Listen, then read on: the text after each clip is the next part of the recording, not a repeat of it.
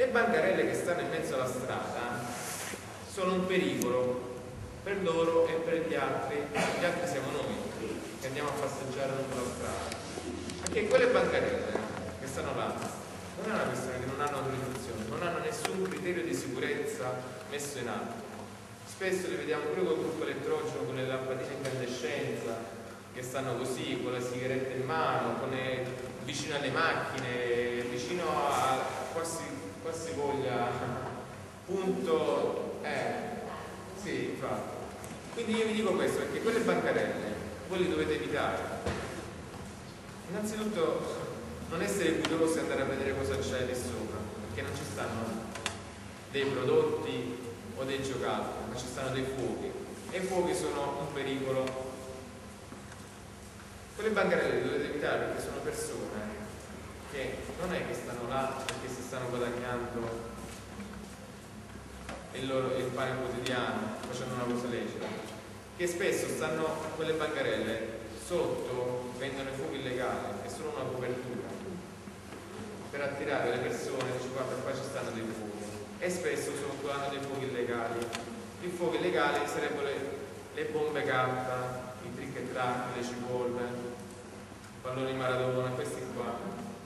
E questi qua non sono più fuochi pirotecnici, ragazzi, sono degli ordigni esplosivi, sono delle bombe.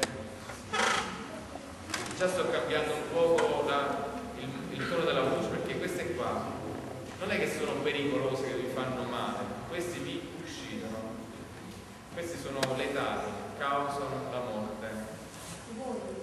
E quando non causano la morte vi causano dei danni permanenti irreversibili.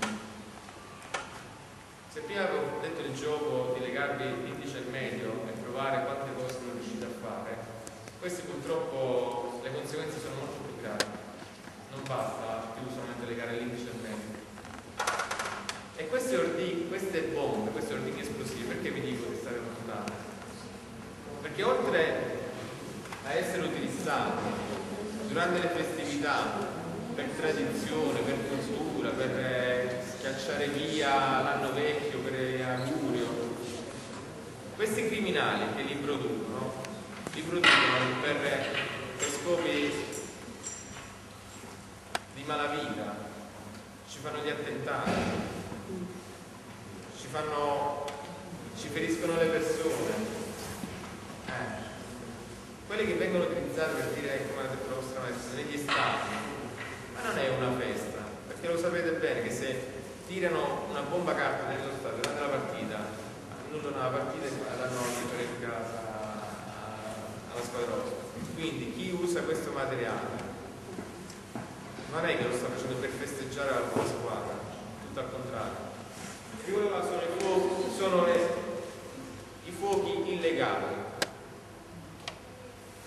Ma illegali non è che solamente la parola che è la legge, sono illegali per questo motivo qua, che, perché chi li produce, chi li detiene, chi li mette in commercio sono dei criminali.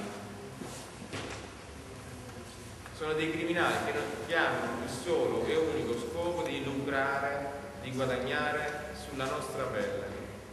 Hanno solo e unico scopo di fare del male a noi e agli altri. Hanno solo e unico scopo di creare pericolo, allarme e un sacco di, di altri, altri, problemi alla società dove vivono, per, solo per guadagnarci.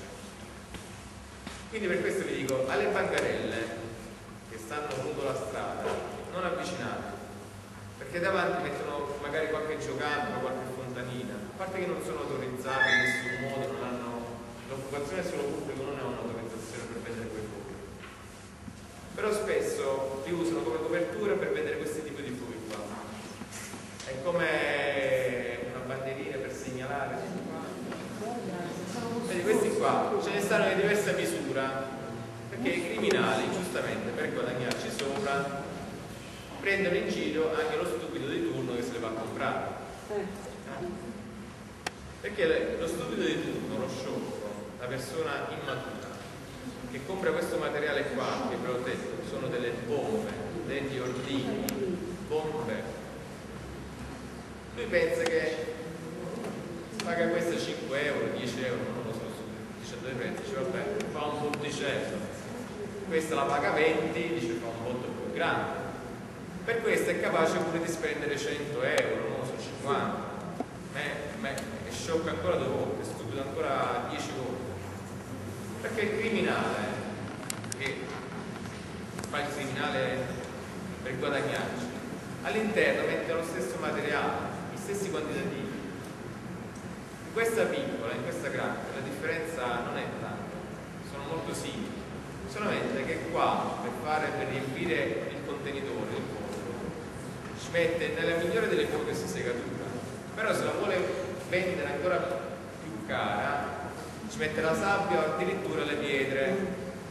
E le pietre, oltre che a dare il peso e a prendere in giro lo sciocco di turno, diventano dei proiettili, delle schegge quando questo esplode. Quindi, quando vedete la gente stupida che accende questi fuochi, non avvicinatevi, perché lo sciocco si farà male lui e purtroppo a chi sta più vicino, perché purtroppo lo sciocco, lo stupido, non pensa per sé, figuratevi per gli altri di maiale. La zampa di maiale ha la pelle molto più resistente della nostra, la codica è, è, è spessa, è dura.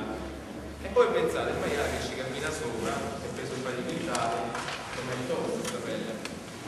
Per vedere un po' che cosa, i danni che procuravano queste bombe alla pelle e alla zampa che abbiamo fatto? Abbiamo simulato, simulato mettendo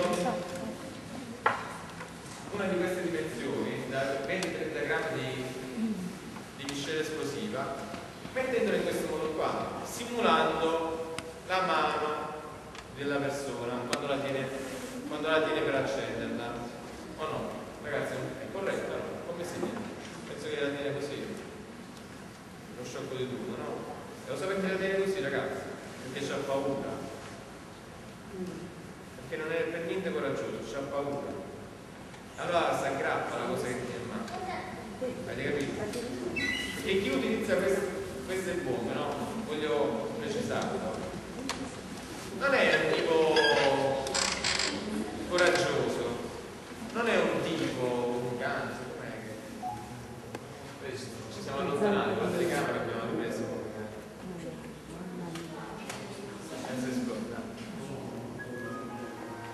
l'operatore vede un po' la mano che gli deve Guardate dov'è? Ecco, guardate. Che il mondo vabbè. Boom, guardate, non esiste. Non c'è grata. Eppure l'avevamo fissata bene su quel palo di legno, eh? La zanna. Non c'è L'avevamo fissata Hai bene. visto, amore? È stata proiettata. Esatto, Questo- addirittura completamente alla mano. Vedi, Guido?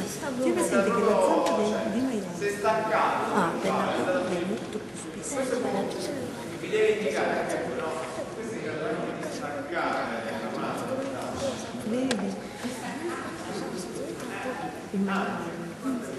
Se, se viene tenuto in un certo modo e le, le dimensioni può anche Hai visto? sale prima sopra e poi scende lungo il costone.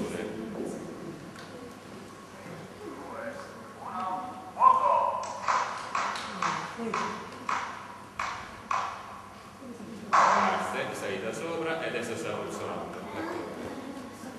E qua parliamo di una distanza di 30 metri in salita, quindi ciò vuol dire che se fosse stato tutto pari avrebbe lanciato come minimo a 50 metri di distanza. E stiamo parlando nell'ordine di 30-45 grammi di miscela pirotecnica che ci sta dentro. Una, una mano vostra, una mano mia la porta via, una mano vostra che è ancora più tenera rispetto a un adulto, non, non vi lascio, vi lascio immaginare che cosa